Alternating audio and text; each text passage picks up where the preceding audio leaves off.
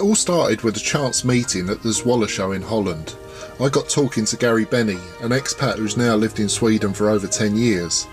And the main thing was going over to do a talk for the Swedish carp group later in the year.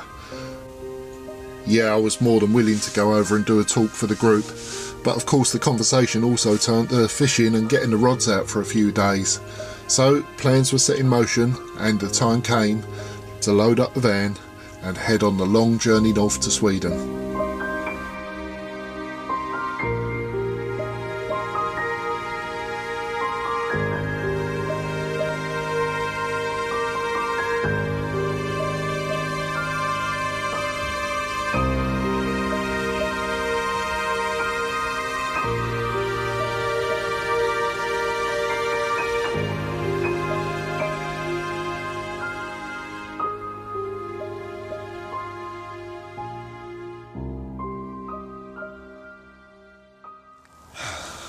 That is one drive I wouldn't want to do too many times again.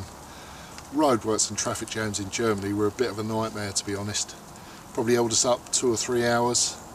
Uh, a little diversion in Denmark that shouldn't have happened. Um, set the sat nav and we was heading towards the ferry and we should have been heading towards, I think it's called the Oresund Bridge. Uh, the bridge was, is fantastic. It joins Denmark and Sweden and it's about 16 kilometres long and God, great that was, great views and it got us to Sweden. So uh, here we are on a fantastic lake. Um, big one, 140, 150 acres, crystal clear water, uh, a wild lake with wild carp in it. Not loads of them, uh, but I've seen some pictures. They are long, dark, scaly, stunning mirrors mainly. So hopefully, just fingers crossed, yeah, I can get my hands on one or two of those. Um, haven't got a lot of time on this one we will be moving on to at least one other, maybe two other lakes while we're here. So uh, yeah, three, maybe four nights on here, so I've got to make the most of my time. Um, so I'm going to get the rods out, get fishing, and see if I can catch one of these lovely fish.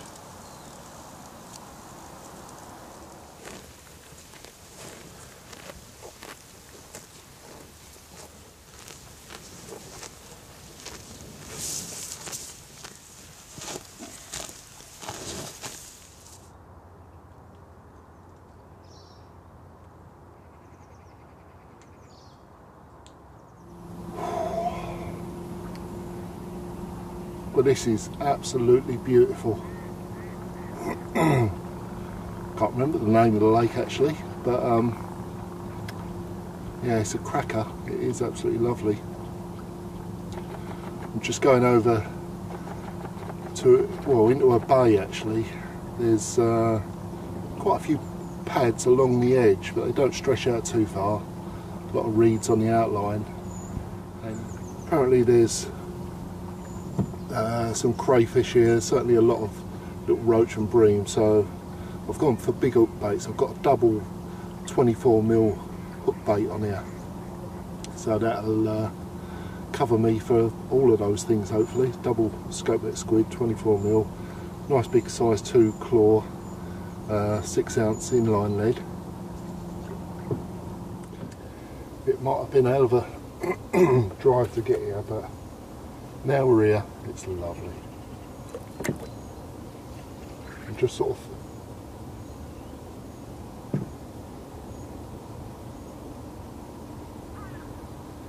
just sort of feeling my way here.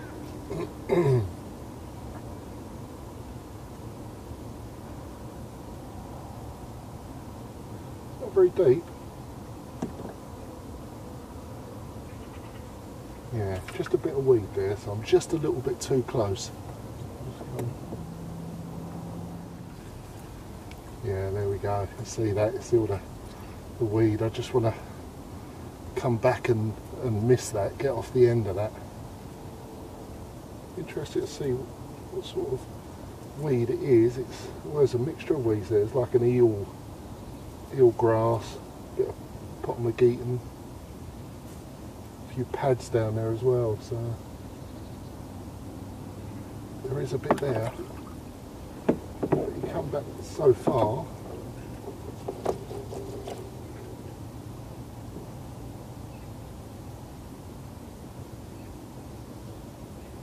Yeah, you don't have to come back far. I'm off the end of it now. That feels good, so I'm gonna drop that just there. Clean as a whistle that.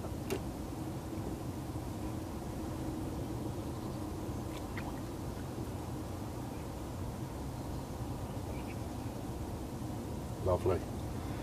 Baking up with 20s and 24s. Not loads, but I want a, a bit of bait around obviously.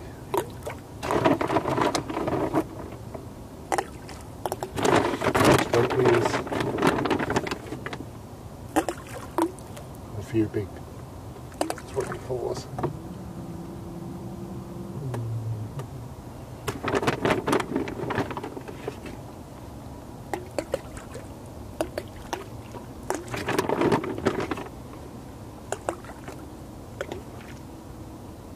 Spread a few around.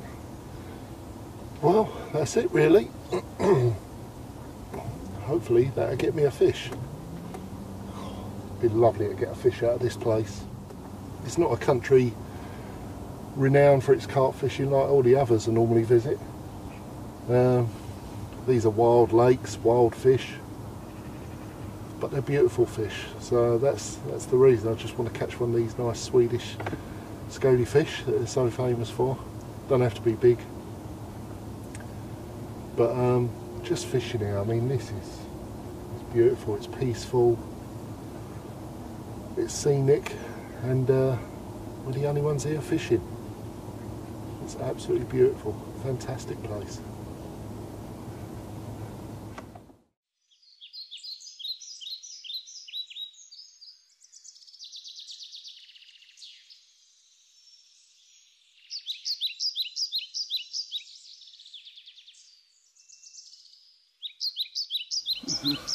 First morning in Sweden, and uh, quiet night. Had a good night's sleep, and uh, needed it and all. That was a drive and a half. Don't want to do that too many times, but it was all worth it because this morning, just a little while ago, it absolutely blitzed off. And I was struggling to get my waders on, so there was no chance of trying to grab a camera. But um, got my first Swedish carp, and it's an absolute beauty. It really is. You know, Sweden is about scaly mirrors, and that was what I wanted. Just look at that. That is a big scaly Swedish mirror. 3412. What a lovely fish for my first one. Came on a great big double 24mm bottom bait. Out in the shallowest one actually, out in the bay on the edge of the pads. Oh, well I came here hoping for one of these, so everything's a bonus after this. But yeah, a long way north, but um, this is why I came here. This is what's up here. Lovely, dark, scaly mirrors. What an absolute cracker. Well pleased with this one. And it's only the first morning. Only got a few days here before moving on, but um, well, job done, got one. Happy days.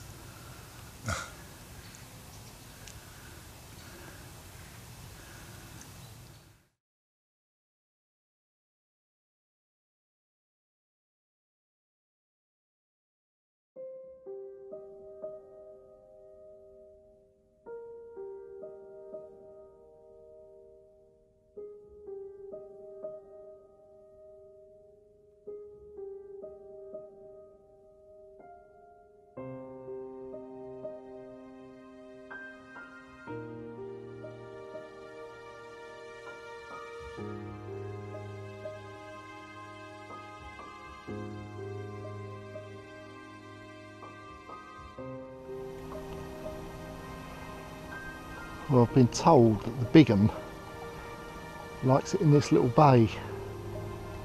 I mean, it is a lovely little bay in here. And it has been caught in around here before, so it hasn't been caught many times. So it's certainly worth dropping a bait in here. God, It looks lovely actually. Alright, deeper than what I thought. So uh, from tip to lead. Oh actually yeah that's got to be seven foot at least. That's actually really nice. Bit firmer there. Oh. Oh shit, what have I done? I've hooked a pike or something here. oh dear, I thought I'd hit a rock there.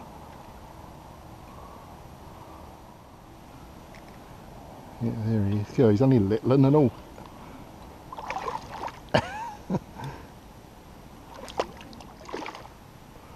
oh well.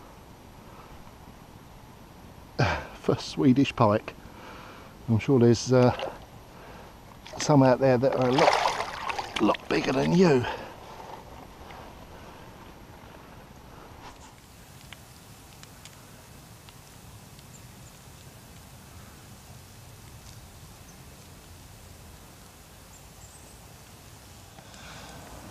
Oh, well, another absolutely gorgeous fish. Lovely mirror. Came in darkness, this one. And uh, so I've had him in the sack for a couple of hours. And even in that little time, it's amazing the swan mussel shells, snail shells that he's left in the sack. Shows what he feeds on naturally. Um, but last night he was feeding on Scopex Squid, thankfully. And he is another absolutely gorgeous fish. I mean, these Swedish carp, this is what I was hoping to see, something like this. Because I've seen pictures of them before and they are beautiful fish and uh, yeah, that's what it is, it's a beautiful carp. 2612 this one. Long lean fighting machine. Same rod actually as the first one. So they like it out there. Um, but yeah, what a lovely carp, eh? Oh, don't mind driving miles and miles and miles and you catch fish like this at the end of it.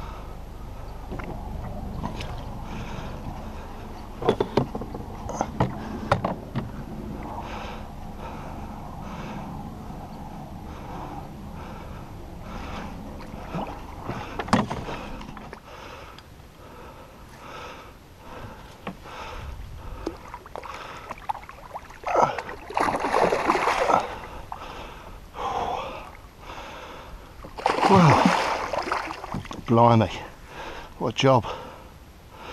But we've got him. And look at that.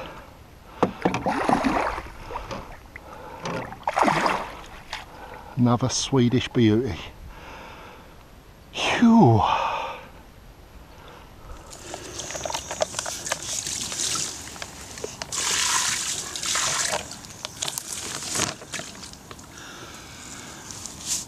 smallest one a lot this one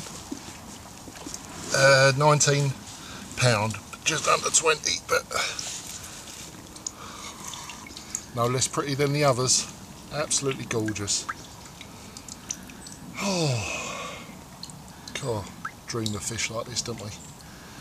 Same rod actually, all three fish on the same rod. So now uh, I've put all my rods over to them pads because, well, it was a battle and a half this one, wasn't it? Job getting the boat out, tangled around the pads, and then it, the fish was in the pads when I got over there.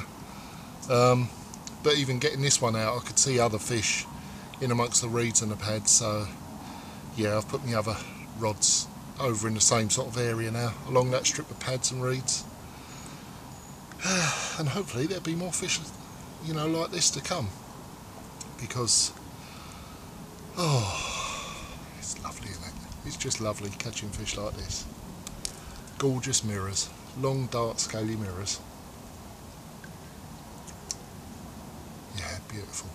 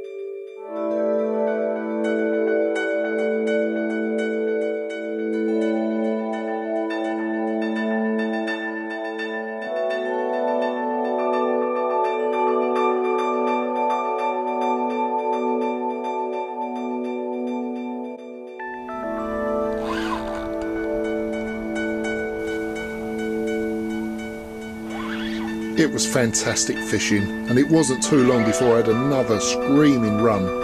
Unfortunately, this one didn't go all to plan.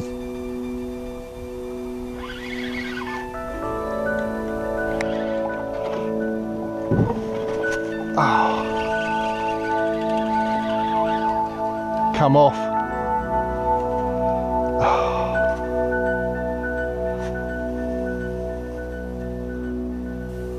But despite that earlier loss, the lake did have one more surprise for me before we had to pack up and leave. Well, lovely misty autumn morning. I love these mornings this time of year. A little bit chilly, but very atmospheric and uh, just peaceful and chilled. Unlike the carp that I've got here. he's been a bit crazy, so I don't know what he's going to be like. But last morning here, be packing up soon and moving on to our next venue. Uh, so it's nice to have one to finish up with. Well, we've still got time actually. Uh, we've had a bite every morning between half eight and sort of 10 o'clock, so we've got that to come yet. so this may not be the last one, but um, a cracking, God, mad, hard fighting, beautiful mirror again. 27 and a half pound lovely dark, not quite as scaly as the other ones, but still scaly. And absolutely beautiful, like they all have been. Whew, three o'clock this one came. And uh, yeah, God, it went on some absolutely mad runs, really did, stripping line off the reel. And uh, yeah, like most of these fish in here, they hardly ever been caught, so they're very much very wild. Uh, but they're fantastic fish. God, only been a few days here, but it's been absolutely brilliant. I was just hoping to see one or two of these fish, and uh, you know, I've seen a few now, so I've been sort of blessed because it's definitely not an easy lake. You know, everyone who's fished here has told me the same thing that can be a very, very difficult lake. So, you know, right place, right time for me by the looks of it. And uh, I've been lucky, got a few nice ones. But there we go, time to move on to pastures new. Get this one back, starting to getting the gear down. But uh, yeah, more nice ones to come at other places, hopefully. But here we are, job done on here.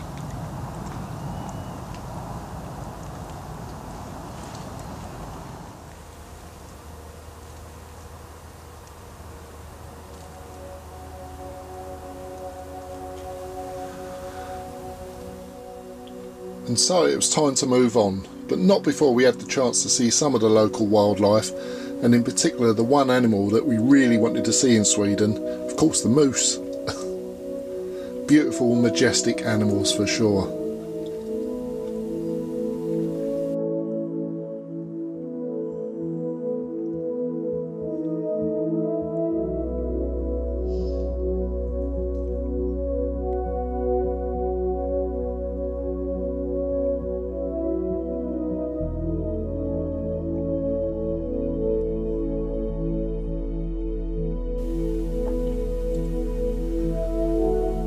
Was on to our next destination, a lake that we had heard a lot about, especially from Ollie and Alan Blair as they had fished it the previous year, the lovely, beautiful Haga Lake.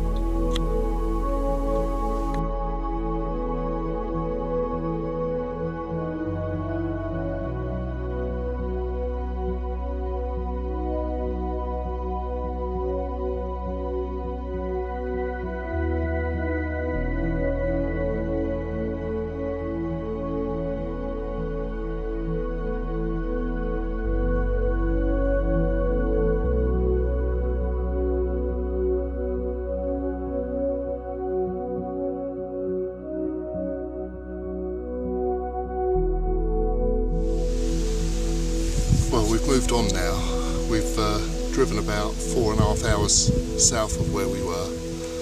Shame really, I was catching good fish on that lake. It would have been nice to have stayed a few days more. Um, but saying that, we've turned up at an absolutely amazing lake here, Lake Haga. And uh, it's absolutely beautiful. And probably as you can hear, it's so quiet and peaceful. Going to enjoy this, I think. But um, it is slightly different fishing. It's all casting here, there's no boats. Um, so I've got to change all my rods over now from braid to mono, so it's going to be a bit of a job. Uh, change rigs, smaller leads, uh, soft silty bottom here, so need smaller leads so they don't plug in so much. And it sounds like it's a bit of a stalking lake as well. We, in the daytime, sort of move around the other side of the lake with spread rods out. Um, not sure if that's a bit of me, I don't know if we'll be doing that. But some lovely spots, literally just from where we're plotted up here. Islands out there, channels in between. Uh, and it all looks very carpy and very nice. We're the only ones on the lake, so it's absolutely beautiful. I'd say very, very peaceful. And uh, yeah, we've got a few days here now before moving on to yet another venue at the end. So uh, yeah, I'm going to get these rods sorted out, get some baits out and uh, get fishing.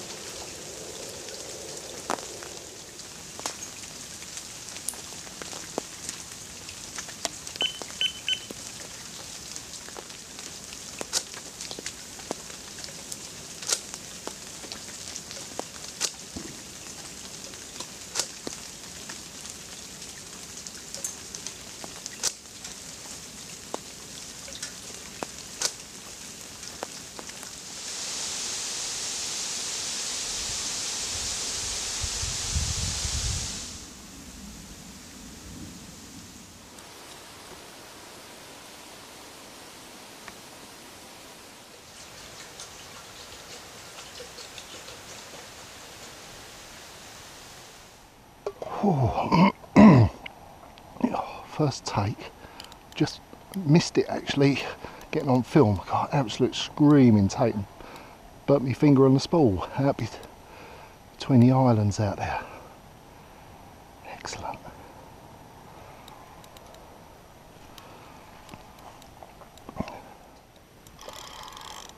That's it, go away from them pads.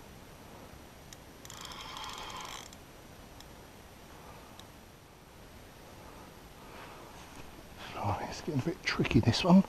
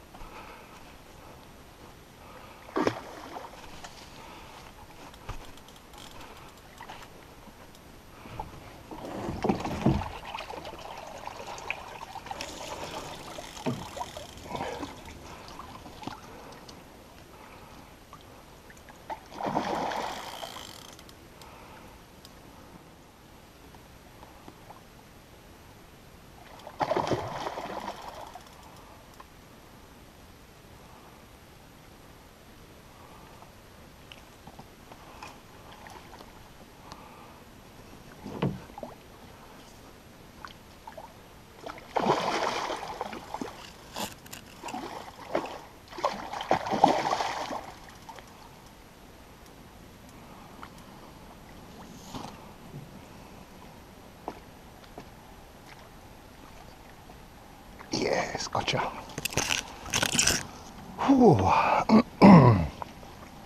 First Haga carp.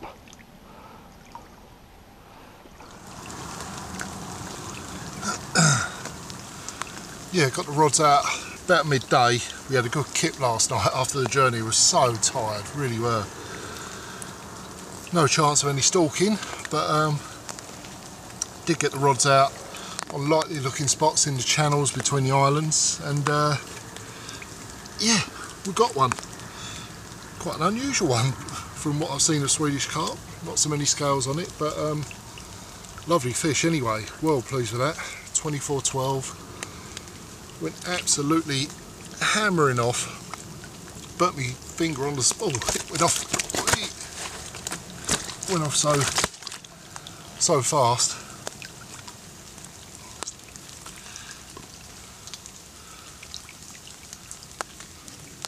yeah, good start anyway. First day on the lake, new lake, beautiful lake this is, absolutely stunning. Literally just got this one in the net and the heavens open.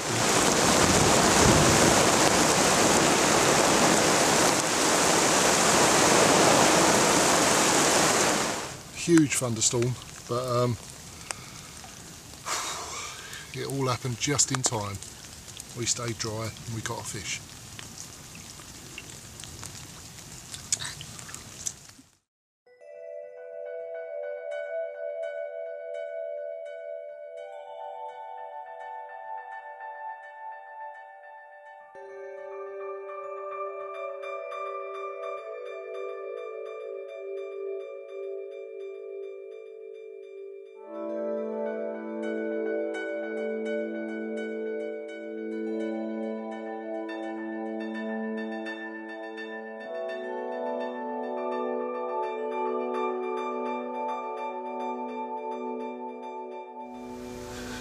Well quite night. Had a good sleep. I mean it's it's so silent and dark here that um yeah it's just lovely. It is absolutely lovely so peaceful. And then uh, yeah just as the sun was coming up off it went again. Same rod. And a beautiful fish. Lovely dark. Some very nice sort of distinctive scales down its lateral line but absolute cracker. Uh, 27 and a half, I mean,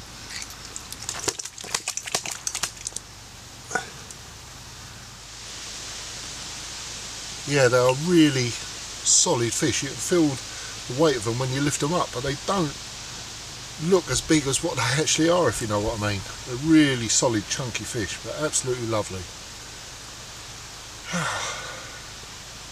A few more days here. This is lovely. I'm enjoying it here. So peaceful and quiet.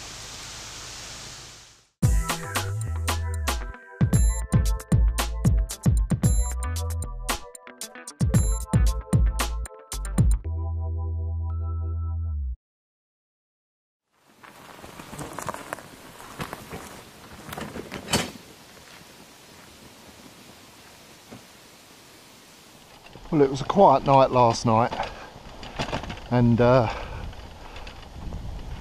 God, these mushrooms around here are amazing. Loads of massive, great, big things.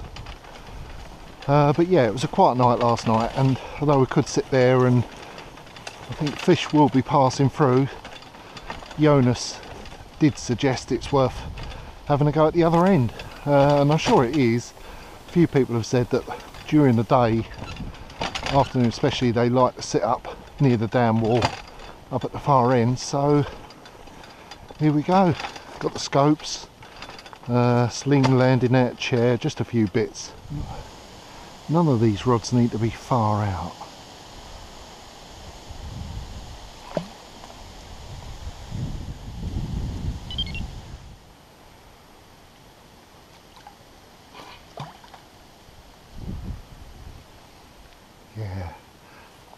Little drop on that actually. Last one. Was just nice down by these reeds. So.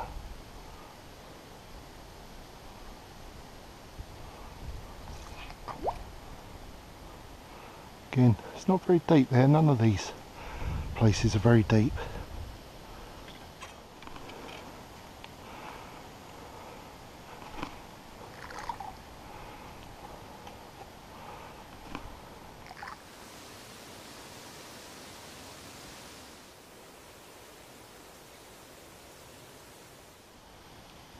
Well, I've been here four and a half hours now, and uh, there's definitely fish here. There's one just jumped. I don't know if you can see the fizz out there on the surface. Just jumped over a rod I've got on the dam wall there. But I said I'd give it till four o'clock, and it's reached that sort of point now. I'll try and hang on for a minute. But while I've been up here blanking away, down the other end, Joan's had her first Swedish carp, so I'm going to have to get back there soon take the pickies. Well done, Joan. That's brilliant news. Wanted her to catch one, so she's got one. Hopefully, a few minutes left, I can just nick one up here. They've definitely been up here. I've seen a few fish show. It's looked good, um, but I just haven't really given it enough time, I suppose. But there we go. It's been fun.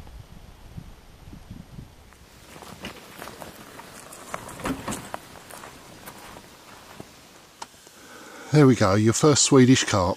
Yes. Race back round to film this for you. There we go, 17 and a half pound. Lovely Haga carp. There we go. Right, right. Lovely, put it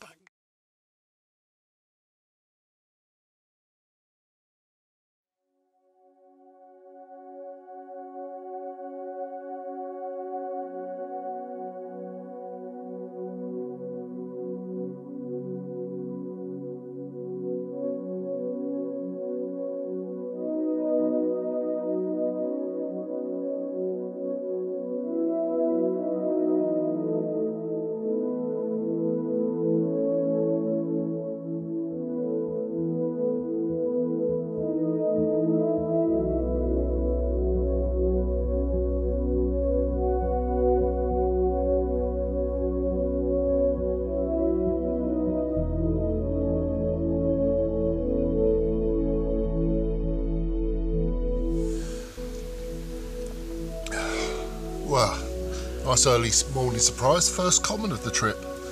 Actually had a, a strange cut off in the night. I think must have been a pike because had a few bleeps and then it all fell slack and uh, was literally just cut off. So that was a bit weird. But then, uh, well, seven o'clock just now. Left hand rod rattled off, and there we go. Not a big one, but first common of the trip. So a nice one. Very pretty. Looks like it's never been caught before, and probably hasn't actually. But yeah, there we go.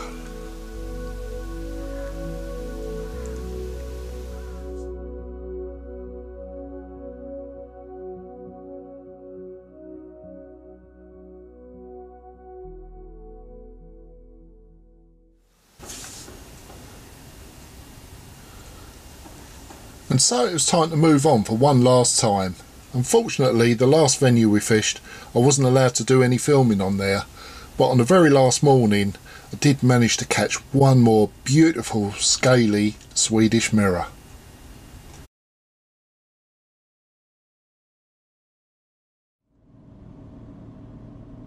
After a great day with the Swedish carp group, it was time to hit the road again, so we made our way down to the ferry that would connect us up with mainland Europe once more, and the start of our long journey back home. But what a great trip it had been. We'd fished some lovely waters, caught some absolutely fantastic fish, and made some brilliant new friends. Memories that will last forever. But for the time being, it was time to head home.